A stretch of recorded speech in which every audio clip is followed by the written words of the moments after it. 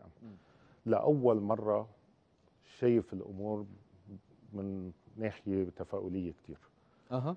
آه أنا أعتقد إنه مش دغري بعد مجلس النواب ولكن بدأ الطريق الصحيح لإعادة لبنان إلى ما كان عليه بالسابق. آملين أن يعود بس بأسلوب منتج وليس ريعي.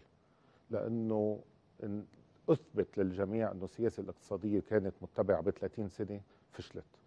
هناك سياسة اقتصادية جديدة. في بعض الأمور رح ناخذها أكثر من اللي نحن عايشين فيه ما بعتقد بعد الشعب بمانع. يعني هيدا أسوأ شيء نحن عايشينه هلأ.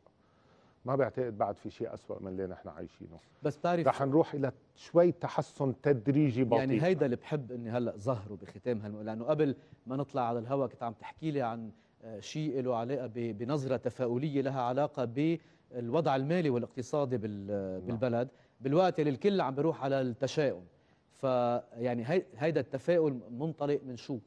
هيدا التفاؤل أنا مطلع اذا إذا نحكي واقعيا هلا واقعيا أنا من يعني من بعض الأمور اللي بسمعها ببعض المجالس اولا ومن بعض الصداقات الشخصية مع بعض الأشخاص زائد بال بالأمور الإقليمية اللي عم بتصير هناك وضع إقليمي إلى تحسن بالمنطقة كلها هناك وضع عودة السفراء الخليجيين إلى لبنان.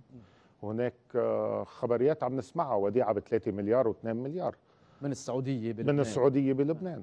هناك آه، سوريا وما وإعادة آه، عودة العرب إلى سوريا.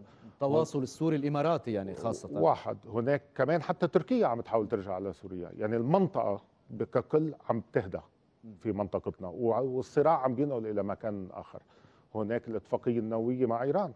هناك وزير الخارجيه الإيراني عندما أتى إلى لبنان وحكي مع دوله الرئيس نجيب مئاتي وعرض عليه المعملين قال له أنتم بس تمضوا النووي الاتفاقية النووية تعالوا خذوا معمل بشمال ومعمل بجنوب. مم.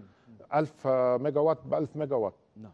طيب يعني يعني الأمور صارت أنا برأيي إلى بخواتيمها وبرأيي الحلول سوف تبدأ تظهر ما بعد الانتخابات ورا بعض. هلأ طبعا بضل في شوية إشكالات عشان ما أحاسب على شيء شوية نكايات سياسية. يعني إذا بده يطلع لي واحد بخطاب آه، بعده حامله من 2005 بده يرجع يحمل لي إياه بال 2023 يعني أكيد رح تعمل لها هيك شوية إشكاليات صغيرة ولكن بيرجع بيقعد على الطاولة وبيرجعوا بيحلوا كل شيء بعد. على كل حال آه، بدي آه، إنه هاي اللمحة التفاؤلية يلي عم نختم فيها حديثنا أنا وياك بتمنى إنها تكون تظهر بعد الانتخابات النيابية لأنه بف- بالفعل هيدي بتعطي للناس دفع وإيجابية باتجاه يعني هالأوضاع وهالظروف الصعبة يلي عم نعيشها.